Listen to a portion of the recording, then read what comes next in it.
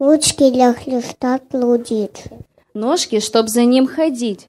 Кашки видят, как он учит. Котик тепло фаит. Лапки видит, как он чудень. Ушки слушать, как он учит. Сердце даст, что ему.